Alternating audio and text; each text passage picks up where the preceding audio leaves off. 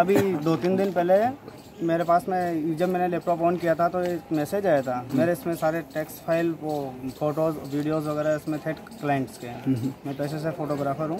तो उसमें सारे डेटाज हैक हो गए। उसमें एक नोटपैड की फ़ाइल आई थी जिसमें जिसमें लिखा हुआ था कि डेटा हैक डेटा हैक की सारी बात बताई गई थी। जिसके अंदर बहत्तर घंटे के अंदर अगर मैं उनसे कांटेक्ट करता हूँ तो नौ सौ अस्सी डॉलर ऐसा कुछ उसने हमारे से पैसा पेमेंट की मांग करी।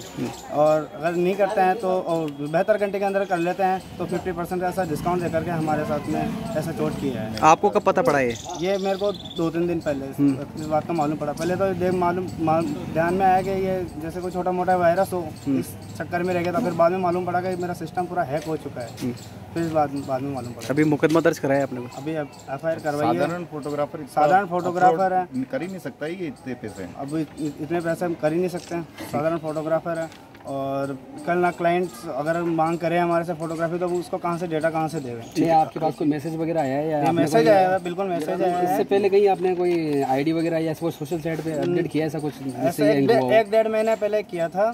मैं जिस सिस्टम को ऑनलाइन किया था ड्राइवर अपडेट अपडेट करने के लिए। अच्छा। तो उसके बाद में अभी चार दिन दस दिन पहले भी सिस्टम चलाया था क्लाइंट को फ़ोटो सेलेक्ट कराने के लिए भी गया था तब भी ऑन हो गया था। अभी चार दिन पहले जब मैं प्रिंट के लिए सिस्टम को ऑन किया तो फिर ये मालूम पड़ा कि सारा सिस्टम ये है हो गया। आपका नाम? नाम।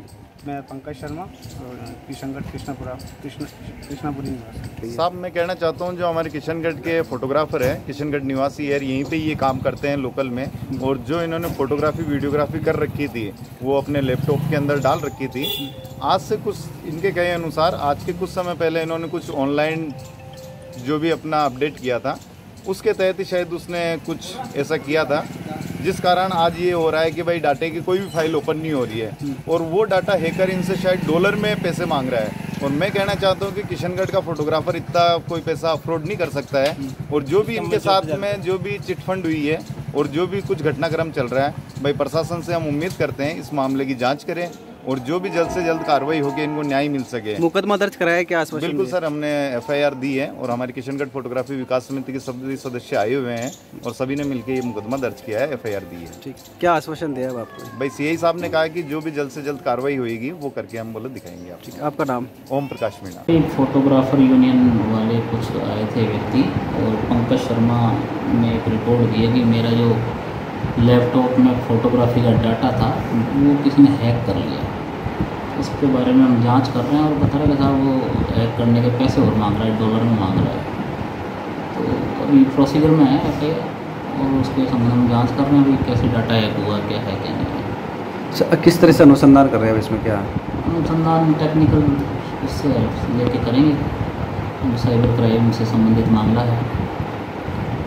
हमने अभी 10-15 दिन पहले फेसबुक आईडी का एक मैटर हुआ था। उसके संबंध में भी एसओजी ने और पुलिस मुख्यालय ने एक अपील जारी करी थी भाई लोगों को खुद को सतर्क रहने की भी आवश्यकता है।